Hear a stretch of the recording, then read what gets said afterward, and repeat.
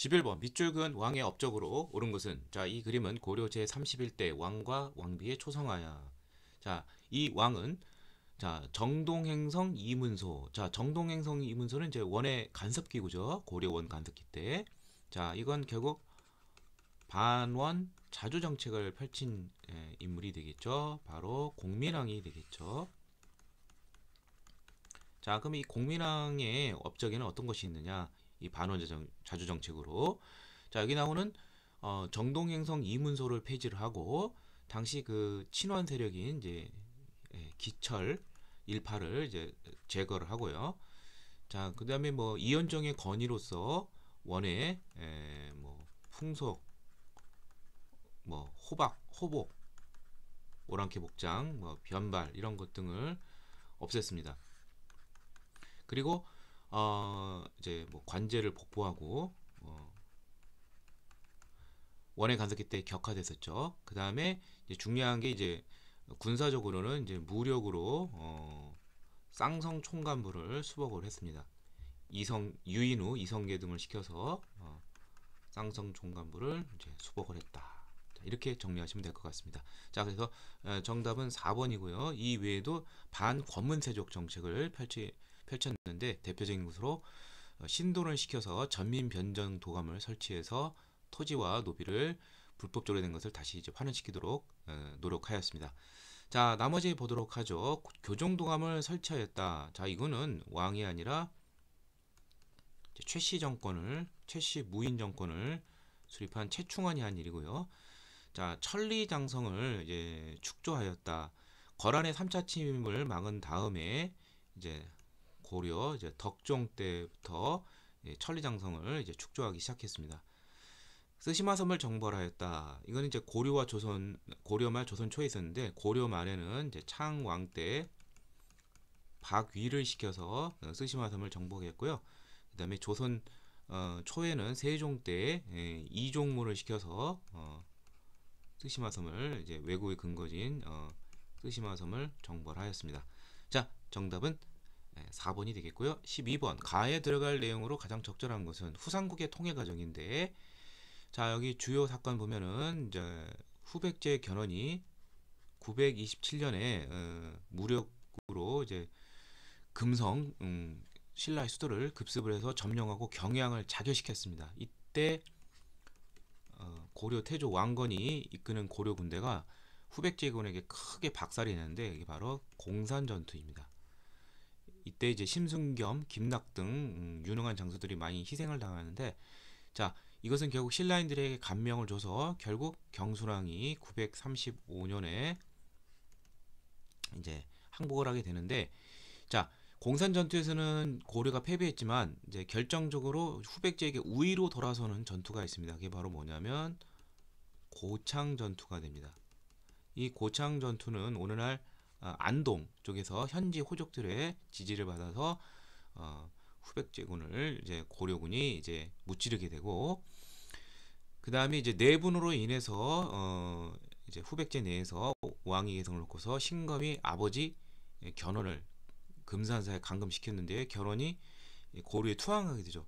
후백제가 분열이 됐죠. 자, 그래서 최후의 일전을 그 해인 936년에 일리천에서 어, 최종적으로 후백제군 신강군과 싸워서 고려 태조군이 이김으로써 후삼국이 통일이 되었습니다. 그래서 정답은 1번 고창 전투가 되겠습니다. 오늘 안동 지역. 자, 진포 대첩은 음, 최무선이 화포를 이용해서 외선을 크게 물리쳤고요. 한, 한별초의 항쟁은 원에 어, 의해서 이제 개경환 어, 원과 강화한 다음에 이제 개경환도를 하는데 개경환도에 에, 대해서 거부를 하는 어, 무인 정권의 항몽 세력인 삼별초가 음, 어, 처음에는 이제 진도 강화도에서 진도 그 다음에 제주도로 옮겨가면서 3년간 음, 투쟁을 했으나 여몽연합군에 의해서 진압이 됐고요. 위화도 회군은 어, 요동 정보를 놓고서 이제 이성계가 이제 군대를 돌려서 예, 당시 최고 어, 실력자인 최영 세력을 제거하고 어, 권력을 잡게 된 그러한 계기가 되는 사건이죠. 계속 이 사건으로 이어지면서 조선이 이제 건국이 되었습니다. 13번 가 인물의 활동으로 오는 것은 경의 건의에 따라 별무반을 거느리고 여진을 정보하시오. 특수부대 자 신기 기병 신보 보병 항마 승병 이렇게 세 군데로 이- 어, 부대로 이루어졌는데 에, 이게 바로 이제 이용관 장군이 되겠죠. 예. 아 여기 나오네요 그림도 그리고 어, 뭐 뒤에 따라갈 말은 이제 함경도 지역의 동북 구성을 축조를 했다 이게 나오겠죠. 그래서 정답은 4번이 되겠고요. 우상국은 신라 지증왕 때 에, 이사부를 시켜서 어, 점령을 했고요. 사군 육진을 설치하였다. 이건 조선 세종 때 에, 압록강 중상륙정에는 어, 최윤덕 장군을 보내서 여진을 정벌 하고 사군을 정치하고 두만강 쪽은 김종서 장군을 시켜서 어, 여진을 토벌하고 육진을 어, 설치를 했습니다. 강동 육주는 음, 거란의 에, 1차 침략 때 서희가 외교로서 오히려 어, 강동 육주 청천강 아, 하류 일대를 확보하게 되었습니다. 자, 다음 14번. 다음 상황을 볼 수 있었던 국가의 경제 정책에 대한 설명을 알- 옳은 것은 병란대에 오신 걸 환영합니다. 송에서 인삼을 사러 왔습니다. 병란도는 고려의 무역항이죠. 고려 시대의 경제를 물어보는 것입니다. 고려 시대 자주 물어보는 어, 경제에 관한 것은 두 가지예요. 어, 여기나 아, 세 가지로 끌고 있는데 이 무역항 병란도 알아두고 그 다음에 어, 화폐가 사용이 됐다는 거. 어, 경제가 발달하면서 어, 상업이 발달하면서 화폐가 이제 통용되기 시작했다는 거. 아, 이거 꼭 알아두고요. 음, 그래서 어, 이제 우리나라 최초의 화폐가 어, 무엇이냐면은 바로 어, 성종 때 고려 성종 때 만들어진 이제 철전이 되는데 건원 중보가 되겠고요. 어, 숙종 때는 이제 여러 가지 뭐 사만통보, 해동통보 등 그런 동정과 함께 은병이라는 이제 은으로 된 것도 이제 화폐가 에, 나왔습니다. 자, 이런 것 등을 잘 알아두시면 되겠고요. 그래서 정답은 예. 건원 중부를 발행하였다. 요게 되겠고요. 자, 신의 통공은 조선 후기 정조 때 예. 자, 유기전을 제외한 시전 상인들의 어, 사상 이제 민간 상인들을 단속할 수 있는 권리인 이제 금 난정권을 폐지했다는 거 예. 알아두시면 되겠고요. 그다음에 연분 구등법은 이제 세종 때 예, 전세 제도에 대한 것인데 농민들의 부담을 줄여주기 위해서 토지의 어떤 비옥도에 따라서 여섯 등급으로 나눠서 신축성 있게 1결당 20에서 4도까지 이제 조절한 것이고요. 아 비옥도에 따라서는 이제 연분 구등법이고 음, 아, 아, 죄송합니다. 연분 구등법은 이제 그 어, 풍흉에 따른 것이고 비옥도에 따라서는 전분 6등급 어, 6등법이 되겠고 그 다음에 풍흉에 따라서는 풍년의 흉년에 따라서는 연분 어, 구등법을 이제 마련하였습니다. 이걸 공법이라고 합니다. 자, 관수 강급제는 성종 때, 자, 어, 조선시대 때 이제 과전법에 의해서 어, 이제 수조를 하는 어, 조세를 거둬들이는 이제 관료들은 자기가 직접 생산량을 조사를 했는데 이 과정에서 어떤 뭐 갑질이 있는 것이죠. 그래서 이 문제를 해결하기 위해서 정부 관청이 어, 농민으로부터 어, 직접 조를 걷어서 어, 세를 제외하고 어, 관료들에게 다시 예, 이것을 나눠주는 것이 되겠죠. 예. 그래서 어, 관료의 중간 과정에서 착취하는 것을 이제 막아내는 그래서 토지에 대한 지배력을 더 국가가 더 강화시켰다는 거 알아두시길 바랍니다.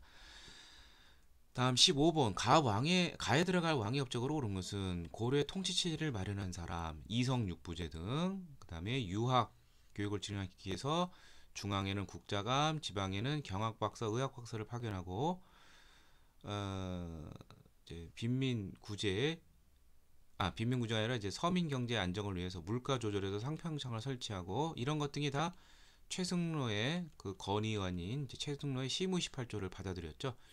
자 여기에 또 당연히 들어갈 게 뭐냐? 제일 많이 나는 거. 최승로가 외관을 두서 이렇게 건의를 했습니다. 자, 외관을 두서라는 것은 이제 지방간을 파견하라는 소리죠. 그래서 지방간을 파견하는데 주요 거점에 12목을 설치해서 지방간을 파견했습니다. 자, 그래서 정답은 1번이 되겠고요. 자, 집현전을 개편한 사람은 조선시대 때 이제 세종이죠. 예. 그래서 단순한 도서 관리 업무가 아니라 왕의 어떤 정책 brain 역할을 하게 되고 예. 자, 그 다음에 경국대전을 이제 편찬하기 시작했다. 조선시대의 기본 법전인 경국대전은 세조 때 시작을 해서 성종 때 완성이 되었습니다. 독서 상품가는 자 독서 능력에 따라서 어, 상중하로 나눠서 관리를 임명하는 것인데 이건 통일신라 때 원성왕 때 이제 이 제도를 실시를 하였습니다. 자, 다음 16번 가에 해당하는 문화유산으로 온 것은 자, 청주 흥덕사에서 간행된 세계에서 가장 오래된 금속 활자본 바로 뭐죠? 직 지 심체 요절이 있죠. 음, 현재 공인된 세계에서 가장 오래된 예, 금속 활자입니다. 자, 그래서 정답은 이제 2번이 되겠고요. 어, 프랑스 국립도서관에서 어, 소장되어 있었습니다.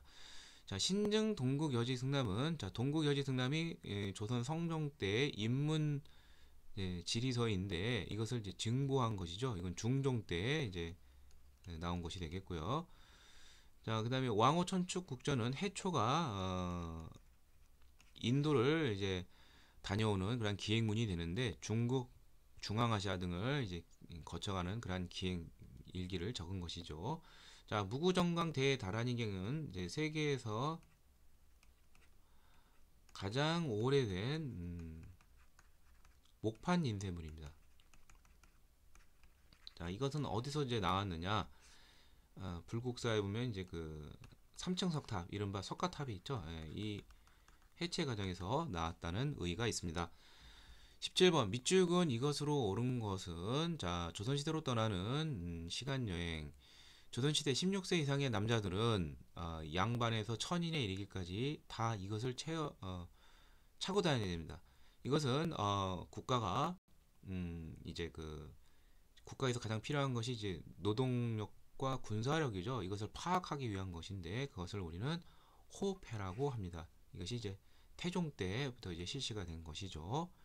예, 남자들이 16세 이상 남자들이 이제 항상 몸에 차고 다니는 신분 증명서이다. 자, 그럼 나머지 보도록 하죠. 교지는 임금이 내리는 어떤 그런 명령을 담은 그런 문서가 되겠죠.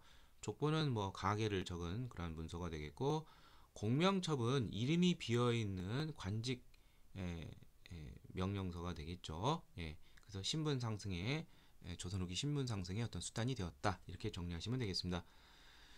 18번 가에 들어갈 책으로 옳은 것은 충신, 효자, 연려. 자, 이것을 흔히 우리는 유교의 삼강이라고 그러죠. 예. 삼강이라는 것은 군이 신강, 어, 부이 자강, 부이 부강. 앞에 부는 남편부, 뒤에 부는 이제 어, 부인 부자인데 이 삼강에 대한 음, 것을 그림과 글로 설명한 거. 그래서 그 행실을 그림까지 나와 있어서 네, 상강 행실도라고 그러죠. 네, 정답은 3번이고 어, 조선 초 세종 때 설순동을 시켜서 이를 편찬하였습니다. 자 동의보감은 광해군 때 허준이 집대성한 어, 의학서이고요. 악학계 보면 아, 성종 때 성현이라는 사람이 이제 저술한 음악에 관한 책이고요. 용교천가는 조선 세종 때 한글을 창제하고 만들어진 이제 한글로 된 첫 어, 시가 문학인데요. 어, 어떤 조선 왕조에 대한 찬양 건국과 그 찬양에 대해서 어, 그런 글로 이루어져 있습니다. 자, 다음 19번 가 왕의 정책으로 오는 것은 조선 7대 국왕 7대 국왕 뭐뭐의 모습을 담은 것입니다. 자, 이 사람은 자, 육조 직계제를 다시 시행했다. 왕권 강화를 했다. 자, 6조 직계제를 처음 실시했다면은 이것은 태종이 되는데 이것을 재실시한 사람은 세조가 되겠습니다. 음.